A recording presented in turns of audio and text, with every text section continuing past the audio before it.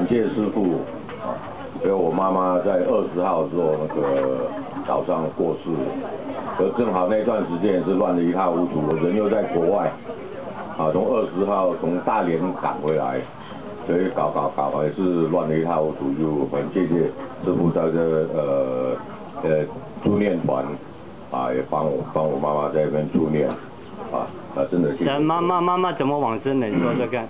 啊，我妈妈九十五岁。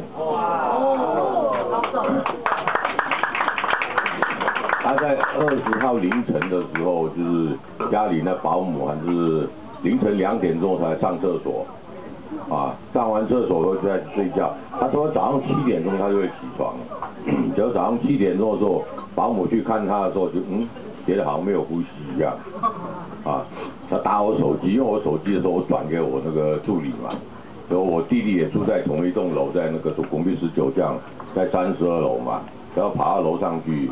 到楼上去说，只要找我弟弟跟我弟媳妇来下来，我太太就会过来。那天二十号的时候，就是这是最乱的那一天嘛。医院没有一家医院有救护车，没有一家医院有救护车，所有的救护车都都不来。啊，警察局里面，我们那个是龙平里警察局，他整个警察局就剩下我一个人。啊，什么事情都做不了啊！二十号那天真的是。哦，那真的是神明保护，不然的话那是那有那么热的天气怎么办？啊啊！结果还找到一个验尸官，啊，才到家里来验尸，因为在家里去世嘛，所以那个就会有这个问题，啊，到警察局去报案，警察说我知道的啦，啊，什么事情也办不了。要找到验尸官，验尸官验完以后，那个验尸证明拿去给警察局，那警察看都不看，我听我的弟媳妇讲，他看都不看就跟你签。啊，忙到那个那个都是，这龙皮的警察都被被红三军打。对啊，龙皮里警察局差一点那个那个后面那个住的那个宿舍都被烧掉了。所以那时候也是搞得也是乱得一塌糊涂，后来才把我妈妈遗体是放在朱拉医院。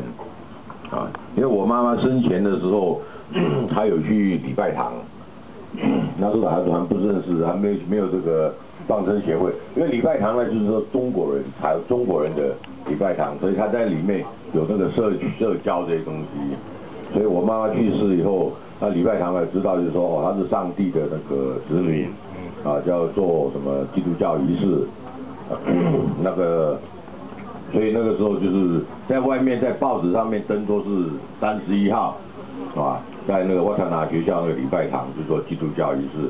那以前往在前面的话，我在因为我们家住在瓦塔堂那边，我爸爸做一个那个纪念堂在那边，所以我妈妈遗体就后来从医院移到那个那个庙那个纪念堂那边，所以在那边就是请泰国和尚念了三天经，是吧？就谢谢助念团这念了一天。